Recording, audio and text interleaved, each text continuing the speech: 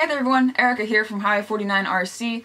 Last time in the MOA build, we got the chassis all put together with all the cross members put in, fabricated, and this thing is looking absolutely sweet. Today what we need to do is make a center skid plate because there's nothing going on here and that's a problem. I have a design that I made. I think I showed it in the last episode, or maybe in the first episode, I forget now. But we're going to take a look at that on the computer. We're also going to take a look at what my order of operations is going to be for milling out this skid plate. This is going to be a much more in-depth and detailed machining video than I usually do. Usually I just do time lapses, but today I kind of want to try something different. I gotta be honest, I'm pretty nervous to start this skid plate. Um, I really hope that everything turns out okay. The material that we're going to be using for the skid plate actually came from a viewer. One of you guys sent in um, some material along with some tooling, so huge thanks to you. I've been using your tooling, I've been using the material. With that, let's head over to the computer and take a look at the design. So here we are inside Fusion 360.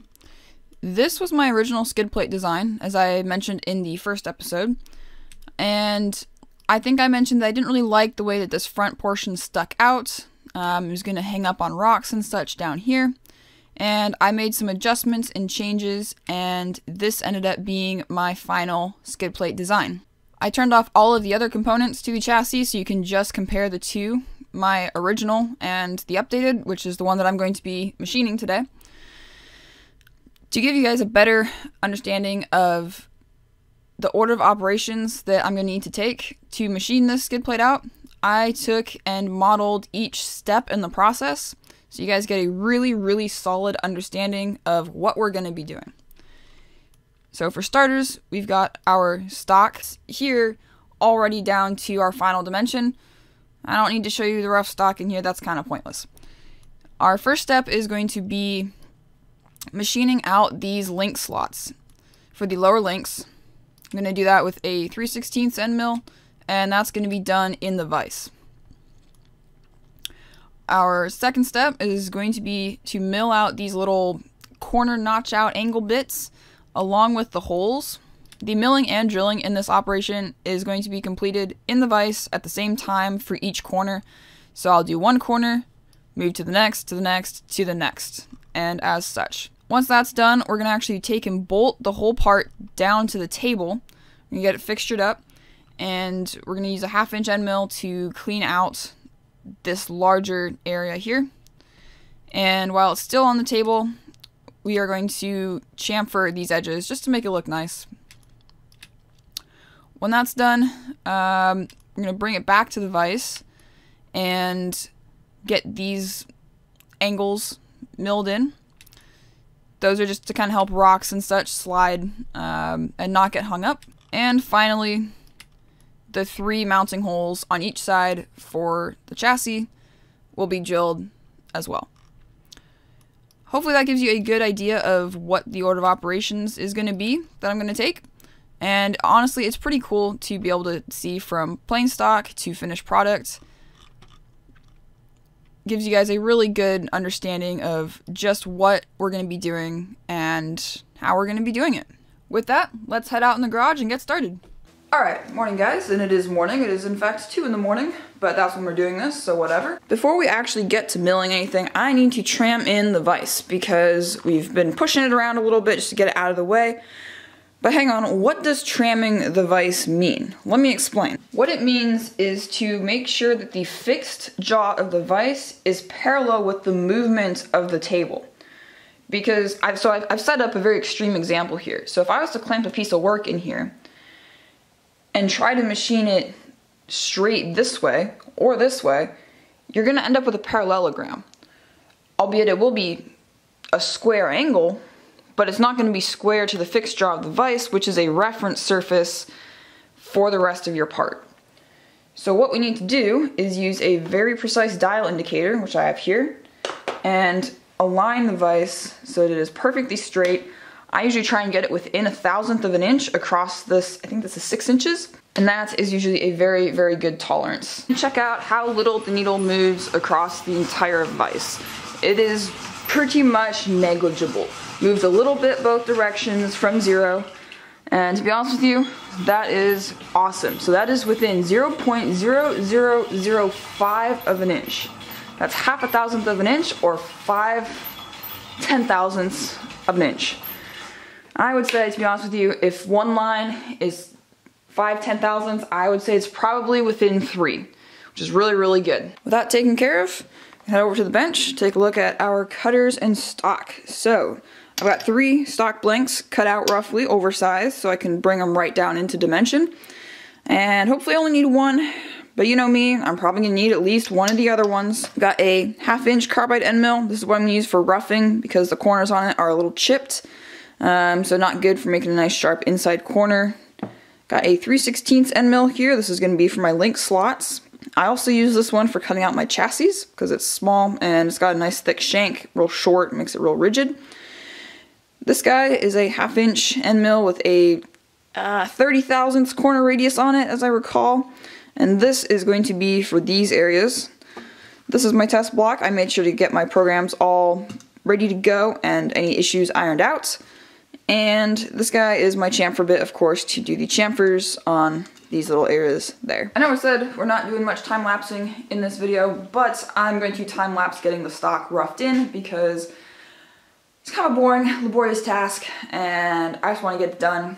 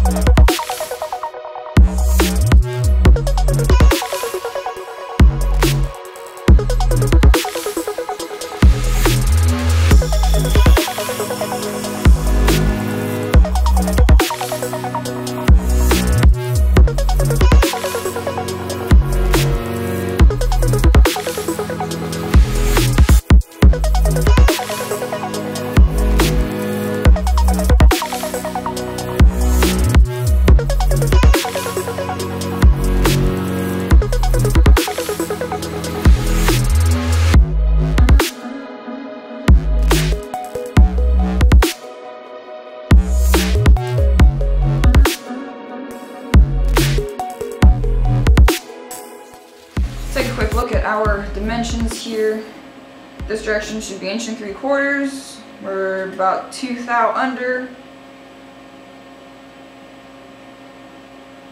A little more than two thou under, about four thou under, so that's plus or minus two thousandths across the whole dimension, which is perfectly good.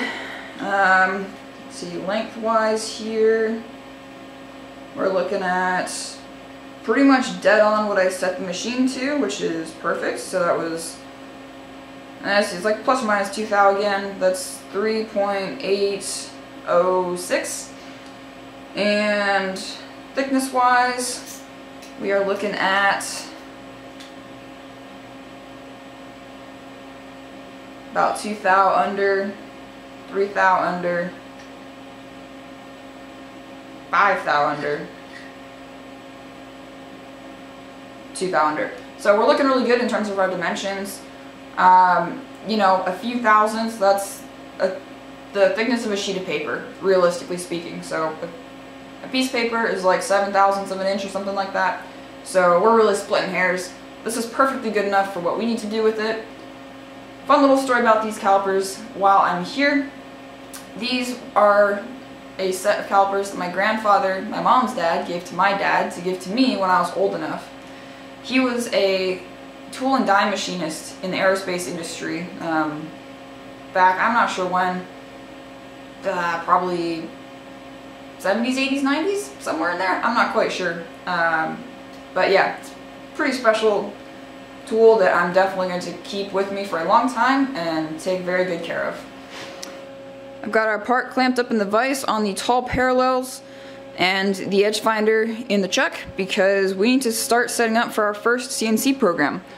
So what we're gonna need to do, once my camera focuses, is I need to go to MDI, which is manual like data input, over to MISC, and then I gotta put in M03, shift, space, S600. So what that is, M03 is spindle on clockwise and S600 is just speed. So RPM is going to be 600 RPMs because we don't want the edge finder going at 3000 RPMs because it goes across the shop. Don't ask me how I know. But now we're going to go ahead and store that. Wants us to start it. And I'm just going to stop it immediately because I don't need it on for the moment. Okay, so as you can see, this little guy is not centered up and aligned and it can move around, right? So what we're gonna do is I wanna bring it up here next to the edge of my part. So I'm gonna be setting the Y0 right now. Let's go ahead and start her up. And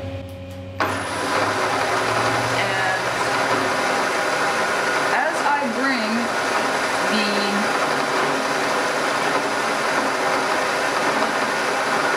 part closer and closer, it's gonna stop wobbling here. Let me knock it off again. There you go. Super wobbly. As I bring it in closer, it gets closer and closer and closer. And as soon as it breaks free, right there, I can stop it and I can zero that right there. However, this is not zero. I'm a quarter inch, because this is a half inch diameter, I'm a quarter inch away from my edge, and my CNC program's zero is on that corner exactly.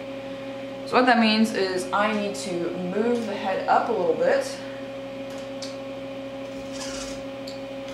like so, and move the y-axis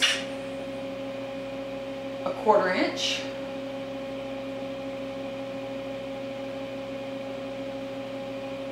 right there. And zero it again. I know I could literally just do like plus a quarter inch, but I get confused which way is plus and minus. I should probably learn that, but you know what, whatever. And now we're going to do the exact same thing over here with the x-axis. So that right there, if I bring it into zero, zero, the center of this half inch bit, which is going to be an end mill here in a second, is directly over that corner, which is exactly what we want because that is the origin of our CNC program. The final step in the equation is to bring the head back down with our end mill in it. I'm just going to use the quill and bring it down till it touches off, like so. Lock it down, and that is now zero as well. So at this point, I can go ahead and get my CNC program active on the machine and we can mill this out. To get our program active, I'm gonna head over to run, uh, menu, and these are a bunch of files that are stored in the computer right now. So I'm looking at this one, that link gaps 316 2201. That is our first program that we're going to run. And I'm going to hit verify just to make sure that that is the program we want, and it is, that's the shape that we're going for. We can exit out of that now and hit enter. And so now up in the top corner here, it says active 2201, and that is the program that we're gonna run right now. I'm not gonna show you that process for the next CNC programs because you guys have seen it once, you guys have seen all of them basically. Zero it out, get it active, away we go. Alright, I went and grabbed my other lens so that my camera is well out of the splash zone because I'm gonna be running coolant for this program. I'm ready to go, let's get it started.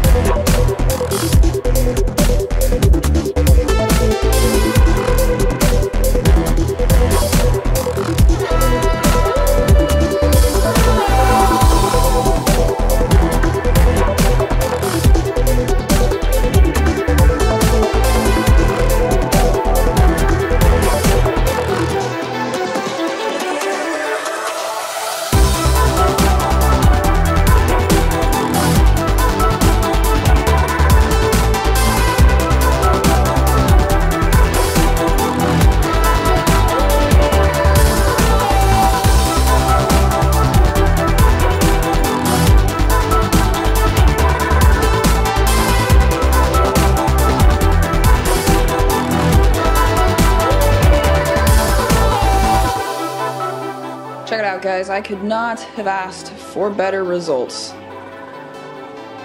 Of course, you guys can't see it, but these edges actually got machined too. That little bit of extra length we had on here did exactly what I wanted it to. It meant that it cleaned up this edge for me and has the same surface finish as in the link gaps. But man, it's looking great so far. The next step I have to do is kind of weird, and I've got to do it four times. So I'm going to do it the first three times by myself to get the order of operations and process figured out, and then I'll come back and show you guys and explain what exactly I'm doing.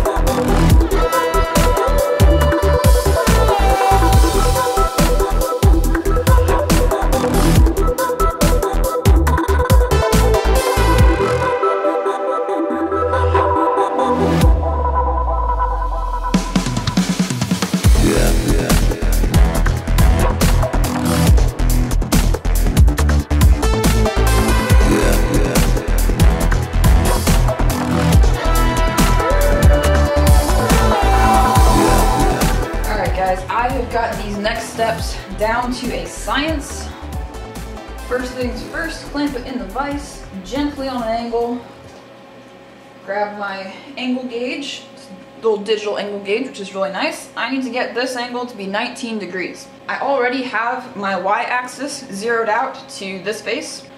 I need to zero in on that edge right there. There we go.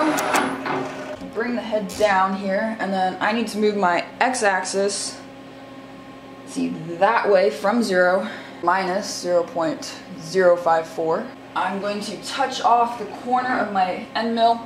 Now I recognize that this is not a very precise way to get a good zero for what I'm doing here, but you know what, this has been working for me. Now I want to go minus 0.072 on the z-axis, and away we go.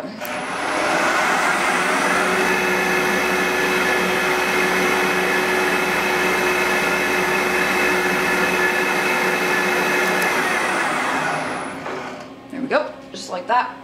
Our little notch out is cut there. In goes my drill, which is the correct size for tapping a three millimeter hole. Now I want to bring the Y to 0.125 because that's half of a quarter inch and my X needs to be at 0.2. The depth of hole needs to be 0.554 about so I'm just going to bring the quill down. I have a DRO on the quill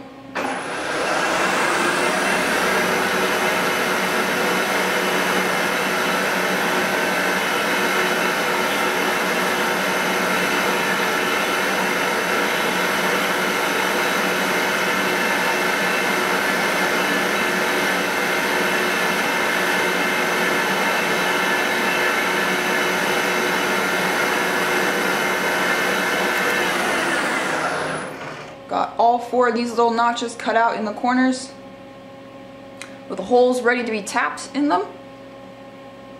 Next up, we need to get this fixtured to the table so we can mill out the large sections here in the center and get them chamfered. So here's what's going on. I've got my skid plate clamped down to the table, admittedly a little sketchily, hopefully it works, but because I'm clamping it to the table, it's all willy-nilly. There's no reference. So it could be out of square, which means I need to pull out my dial indicator again and make sure that this direction is perfectly in line with the table travel. Because otherwise, we're gonna get lines in here that are not perpendicular to the edges. I am one thousandth of an inch out, so that's two lines on the dial. I am perfectly happy with that. We should be good to go on our X and Y zeros. I have checked my tool paths to make sure that they're not going to interfere with my fixturing. I guess all that's left now is to put the right tool in and press go. I am very nervous.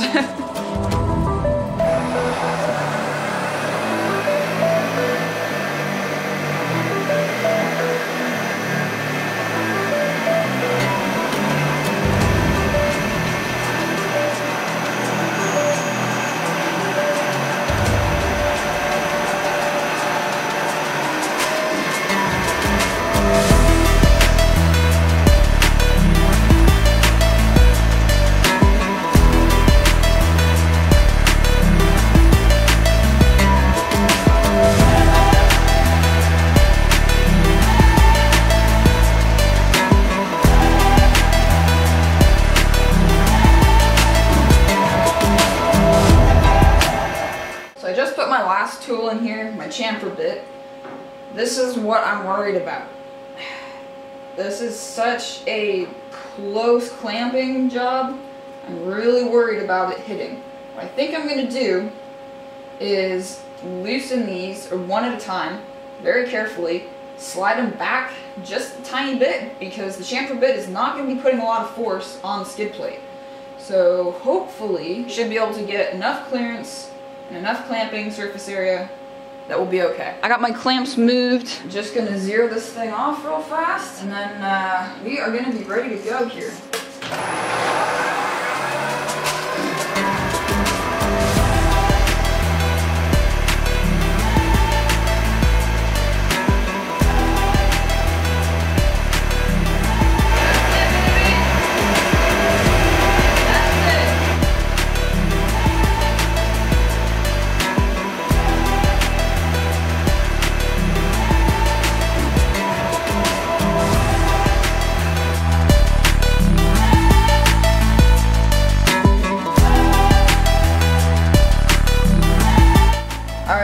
So we got our chamfers more or less as planned. No collisions, which is fantastic. So you can see that one there looks good. These, I have a bit of a qualm about these guys. You see how they come to a bit more of a point at the top?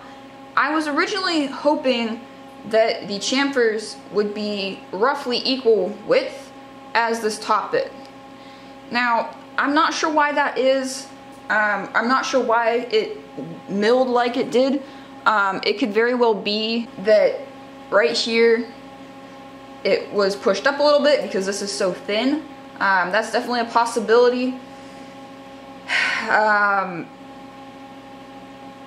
yeah, honestly, I'm not entirely sure, but I think it should be good enough for me because there needs to be a screw that goes into that space and it looks like that should be enough, enough clearance hopefully to drill and tap a hole.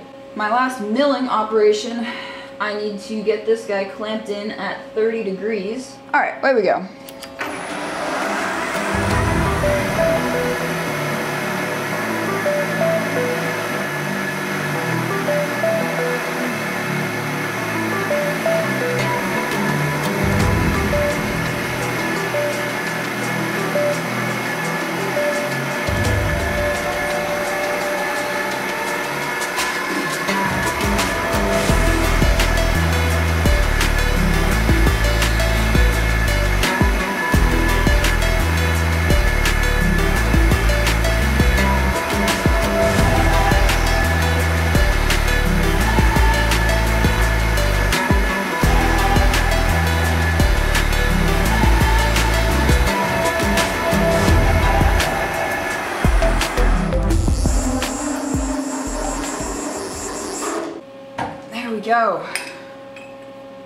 Man, this is so cool. Check that out, guys.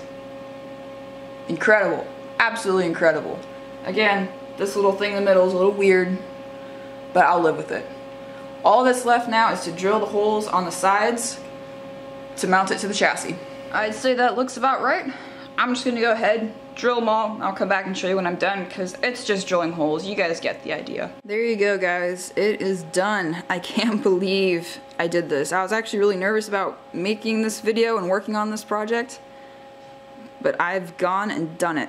I'm a little concerned about how close those edges are to that hole. I think as long as I go really slow and be really careful and put a lot of um, cutting oil on it, I think we should be okay. Well, for now, for me, I am pleased with this. I am very tired. I don't have a freaking clue what time it is, but I've been up since 2 working on this, and I'm quite tired. For you guys, next up, we need to go inside and get all these holes tapped. And from there, we can go ahead and bolt it to the chassis, which is going to be super, super exciting. I'm really proud of this, actually. Um, it turned out really good. I'm, and like I mentioned, I was nervous to make this video and work on this project, or at least work on this part of the MOA. I don't know. Somehow I made it happen. Maybe it was the flowers in the background? I don't know. Anyway. Inside we go.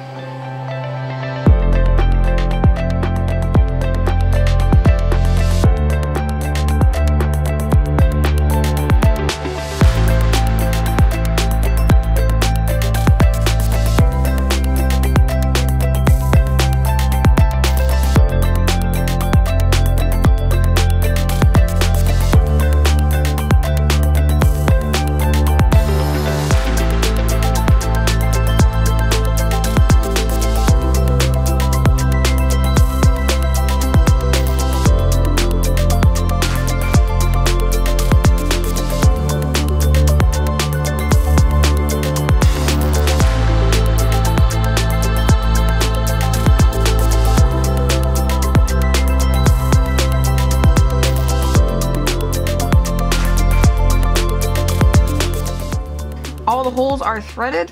Um, obviously I'm going to be getting some shorter set screws to hold the links in. And the rod ends fit in there just absolutely gorgeously. The two downsides about this so far, okay three, we've got some marring here on the corner from our clamping because I had to clamp it down really hard.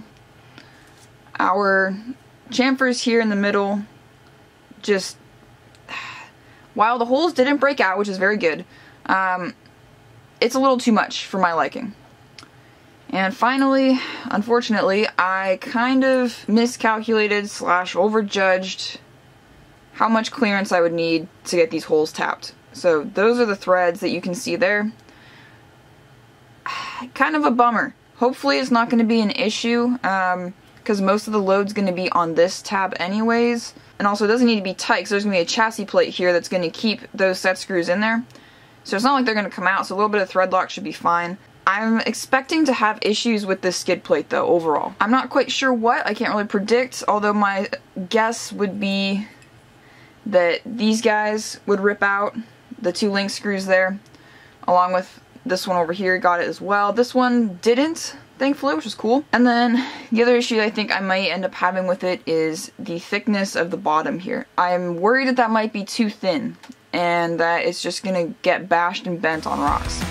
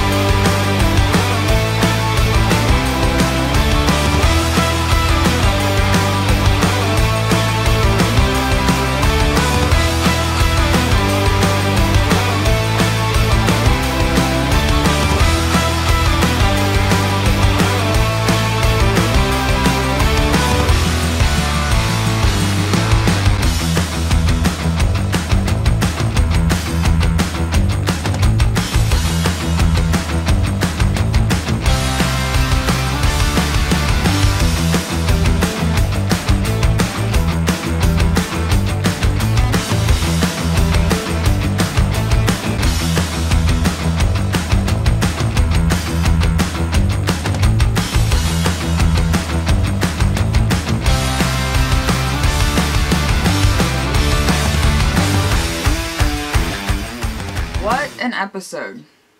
I'm absolutely going to make an extended cut version of this episode because I filmed so much footage, almost probably more than I have for almost any other video. I've got four SD cards full of footage, so I want to do an extended cut.